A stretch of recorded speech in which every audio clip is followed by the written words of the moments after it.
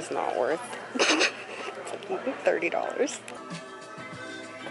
Hi guys, welcome back to the vlog. I totally ghosted this channel and I feel really bad about that. I wanted to be so much more consistent, but life just happened. I'm in a totally different phase of like my life. Back when I was like vlogging and posted everything, that was so different to like what's going on now with me. So I'm back in New Jersey and I'm going to Brooklyn right now to go home. I have all my luggage from like Cali haven't showered. I haven't taken my antidepressant, so I'm just gonna start heading over. it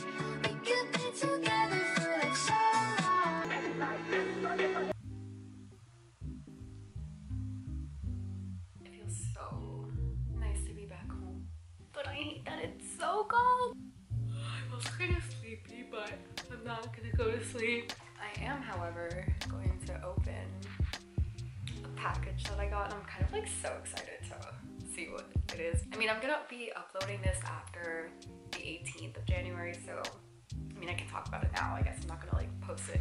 There's this company called Wynk, which is like spelled W-Y-N-K, and it's like a THC seltzer. But basically, the company makes seltzers that are THC and CBD at the same time, but they are literally ratioed like one to one. Like if it's five milligrams of THC, it'll also be five milligrams of CBD. So it's kind of like really, really a really chill like time drinking these. They happen to send me their new flavor that's like not even released to the public yet, which I'm excited to see. I'm like so curious. I feel like I'm gonna make a guess now. I they have lime, they have mango, and they have berry. I don't know. I don't know what it could be. I'm gonna say maybe like strawberry. Feel like I'm sticking with strawberry because I don't know. I just feel like strawberry is such a like a one of those go-to flavors, like one of the traditional flavors, like strawberry ice cream or something. Oh my gosh, I'm so excited. Ooh, imagine it's like orange. I don't know. Oh my god, I love, love, love when they send me stuff. It's so cute. I would supply these at a party as opposed to a beer. This is what they look like in the package. Oh, oh, sick. Okay, I was kind of right. Dude, tangerine? Okay. They come in two like doses. Oh my god, this is so fucking adorable. I love their cans too. It's literally someone like a wink. I'm gonna show you what I'm talking about. So it's 2.5 THC, 2.5 CBD. This is like the 2.5 can size. And then they have this one, which is five milligrams THC and five CBD. So it's like 10 milligrams total of substances. These are the size of like a white claw. I don't know if I want to do a whole one right now. it's like it's like 3 p.m. I don't know. I really want to taste it, but I don't know if I should do it now. It's so early in the day and I, I know. Fuck it. okay, see, so it's like a white claw size. It was sitting in like the like the mail area of the apartment and it's kind of cold there, so this will do. Stop. I don't know if anyone's had the tangerine white claw, but it's literally like the same flavor. It's pretty good. So if you like that flavor of white claw, because I really actually do, 10 out of 10 recommend. Also, if you want to try them, definitely go onto their Instagram called Drink Wynk. If you let them know that you know me, um, make sure to mention my name, which is Frolicsome Fairy, or you can call me Fairly Odd Parents, because that's literally what it says on the name of my shipping address. And just let let them know that you want to try it, and you'll get the friend discount. Just hope you really, really like it. I don't think anyone would dislike it. It's not like other THC seltzers that I've had before. They kind of have like this like aftertaste. It's a little kind of bitter. This just does not taste like anything. It literally just straight up tastes like seltzer, flavored seltzer water.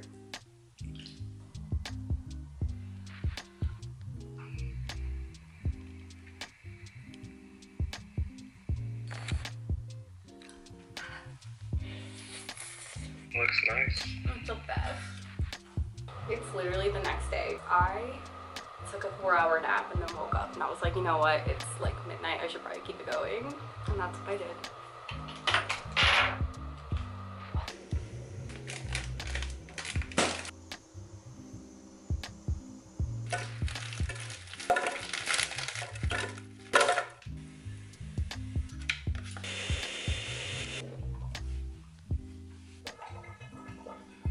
Is really good.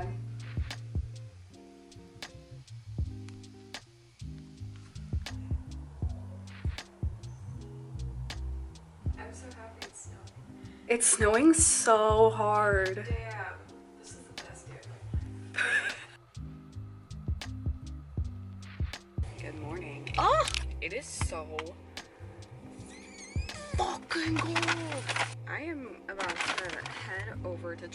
because I'm in desperate need of like actual food.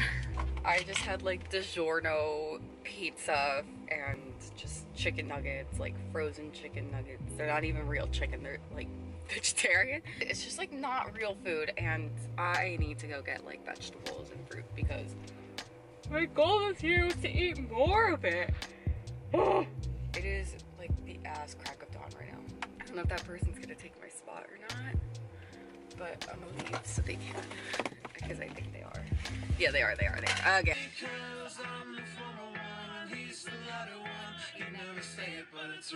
Oh in 300 feet, keep left at the fork. You might got a problem. I'm in love with money, I'm in love with bowling.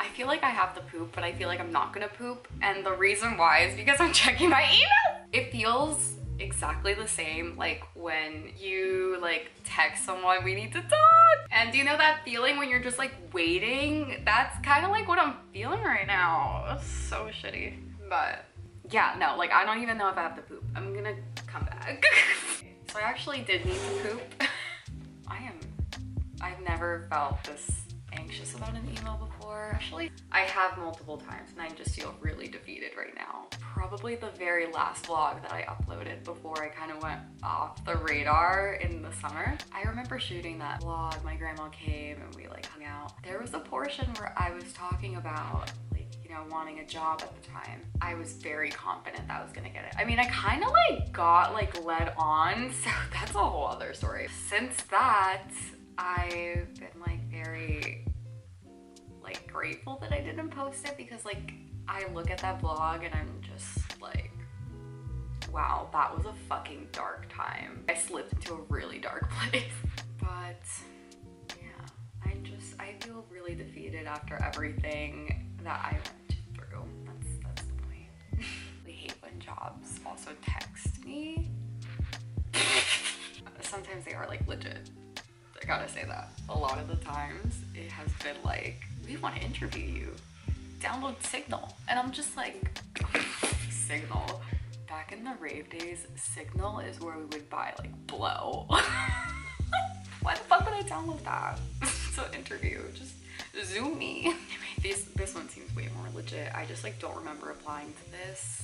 So I'm gonna look up who they are for a second. Oh my gosh, like just so sketchy. A huge red flag. I'm gonna make a whole video on this probably. I have so many stories. I'm gonna be like a little bit more vulnerable on the internet. I kind of want to be like the person who walks so you can run. I'm gonna tell you all the tea. A red flag in interviews and like when you're applying to jobs and they reach out to you is how immediately they like reply back. And I'm talking about even like the next day, the Monday of, like just random. If they message you on the weekends, that's a humongous red flag. Just always remember that. I never, ever, ever, ever had a legit interview from a weekend person ever. It's always a scam. And I found out the hard way actually when I fell for it the first time.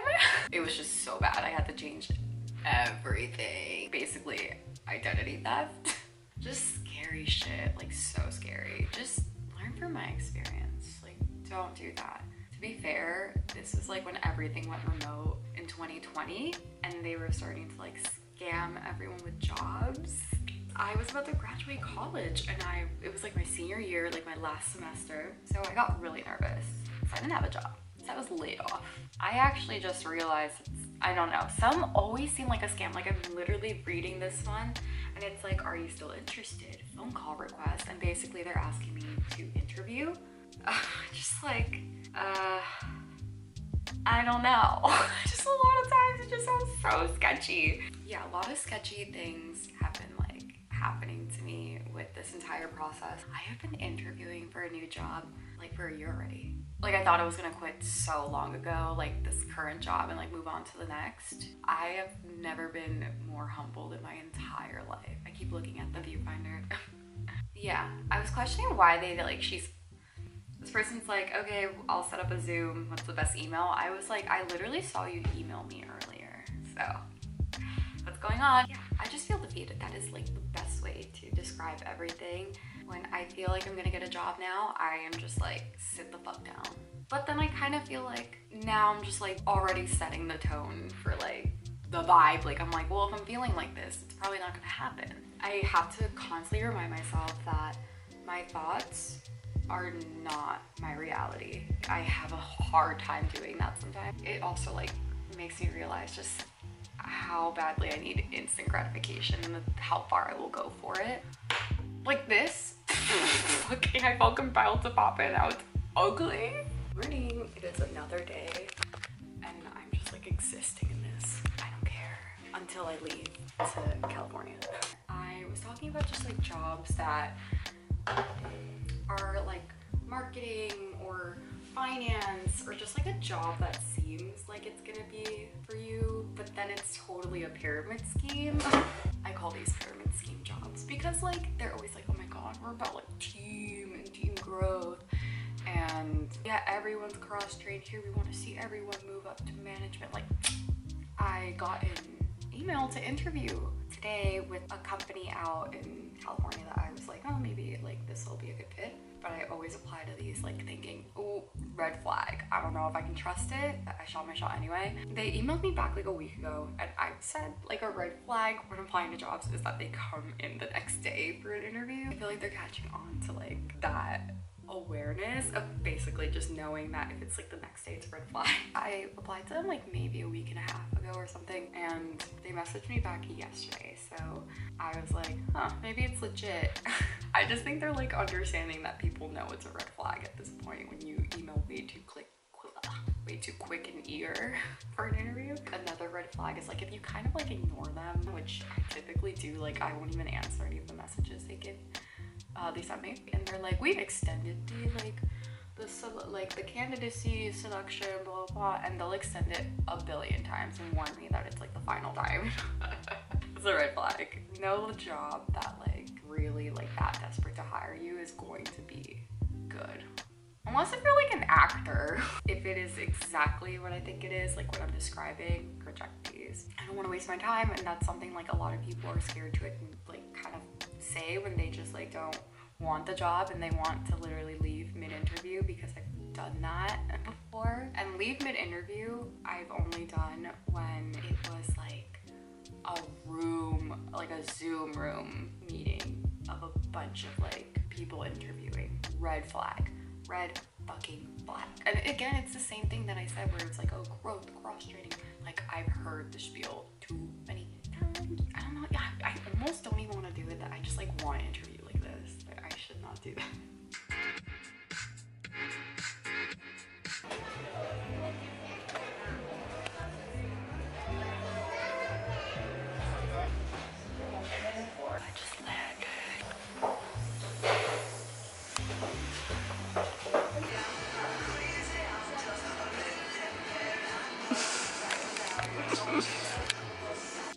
clear the buckle until this aircraft is leaving that cycle landing. Someone lost a